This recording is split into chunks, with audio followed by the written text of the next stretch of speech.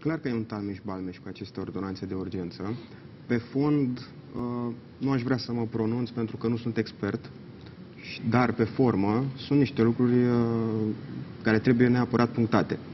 Uh, Sunt indignat de îndrăzneala guvernului ca cu doar câteva ore înainte de demitere să facă această acțiune sfidătoare la adresa cetățenilor și la adresa democrației până la urmă. Să vină cu un pachet de câte 25 de ordonanțe de urgență, abia azi am aflat că sunt 25 și 31 de hotărâri de guvern. Pentru ce? Pentru numire prefecți, subprefecți? Nu știm. Deci au trecut două zile de atunci, nu știm exact câte ordonanțe de urgență au fost, câte hotărâri, care a fost procesul, care a fost uh, demersul, lucruri, și ceea ce conțin acele ordonanțe.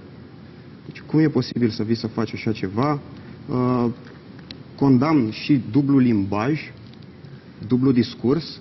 Nu mai suntem noaptea ca hoții acum, suntem noaptea minții, că avem 20 și ceva de ordonanțe de urgență despre care nu știm absolut nimic. Încă o dovadă clară că actuala clasă politică a ieșuat.